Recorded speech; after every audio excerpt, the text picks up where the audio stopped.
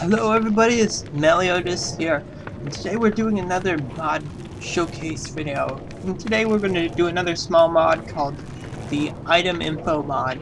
So basically what that is, if I pick up this flower uh, and hover over it, it says it gives me zero hunger, zero sanity, one health. It's 24 minutes of a lifespan, it's 100% cooling, and uh, 48 minutes of until it rots. Okay. Now I also have um, also have this mod installed, too many items mod. So if you want to go check that one out, you can go see it in the link in my description. And I'm also just gonna grab a couple things here. And uh, yeah, look at that. So anyways, this has nine health, nine hung, 9.4 hunger, and that's all it does.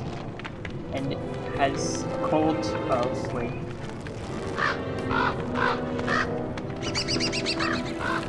Uh-huh. A longer lifespan.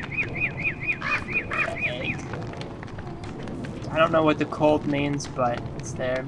This one, cooked mandrake, 150 hunger. So for him, it replenish all of it, but then it makes me tired.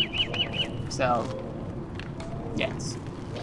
Then I can't wake up until a couple seconds later.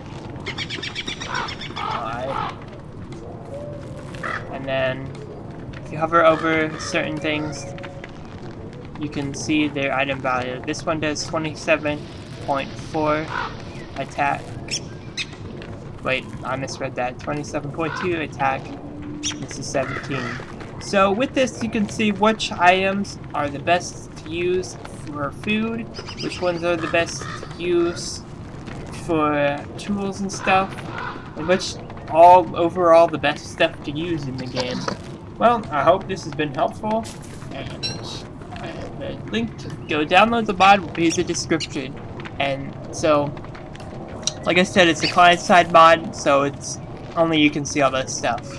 So if you're playing on a server with friends, they won't be able to see it.